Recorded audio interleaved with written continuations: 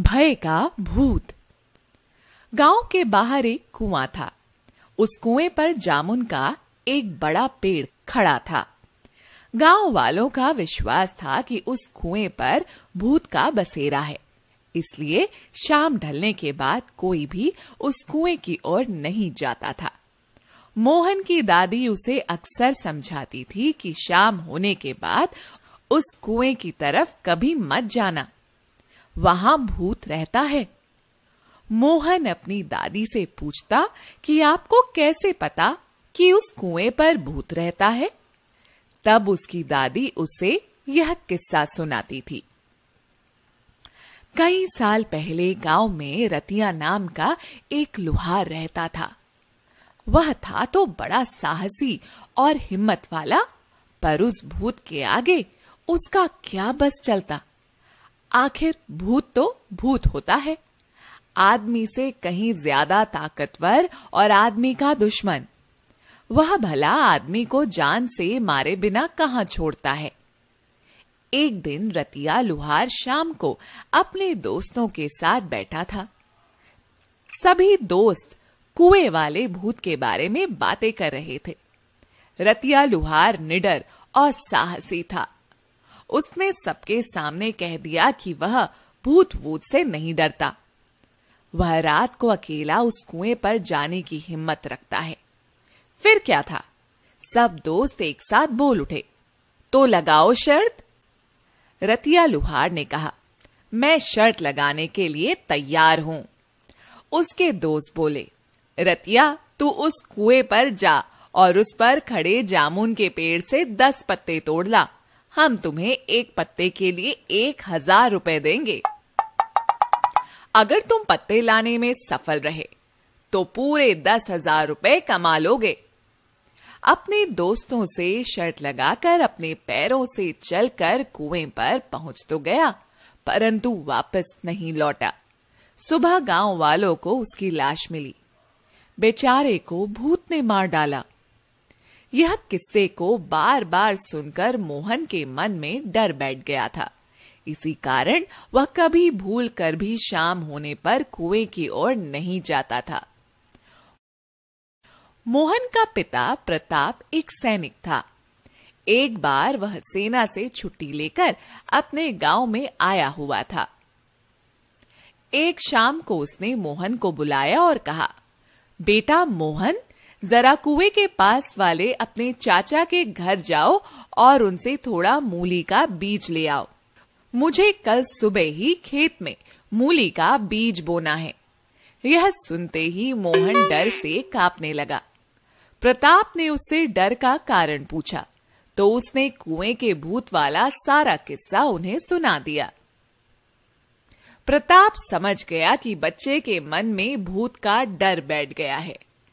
एक सैनिक भला डर को अपने परिवार में कैसे पन्हा दे सकता था? उसने मन ही मन मोहन के दिल में बैठे डर को दूर करने का निश्चय किया। रात के लगभग बारह बजे का समय था। प्रताप ने मोहन को जगाया और बोला, बेटा, मोहन, आओ मेरे साथ बाहर घूमने चलें। प्रताप के इस प्रकार के व्यवहार पर परिवार के सभी सदस्य हैरत में पड़ गए। प्रताप के पिता और उसकी माँ ने कहा, बेटा, यह भी कोई घूमने का वक्त है? भला आधी रात को कहाँ जाओगे? मोहन बच्चा है, इसे सोने क्यों नहीं देते? प्रताप की पत्नी ने पूछा, आखिर रात को कहाँ घूमने जाएँगे? प्रताप ने दृढ़ता से कहा, गाँव के बाहर वाले कुएँ पर। यह सुनते ही सबके दिल बैठने लगे। गाँव के कुएँ पर वो भी आधी रात को? मोहन की दादी ने कहा, क्या तुम रतिया लुहार के बारे में नहीं जानते जिसे भूत ने मार डाला था? जानता हूँ जानता हूँ, पर मैं भूतों को नहीं मानता। उसके मरने का कोई और कारण रहा होगा। प्रताप ने दृढ़ता से जवाब दिया। सबके समझाने पर भी प्रताप ना माना तो मोहन डरते डरते अपने पिता के साथ चल दिया। पिता के हाथ में टॉर्च थी। दोनों गली से बाहर आए और कुएँ की ओर चल पड़े।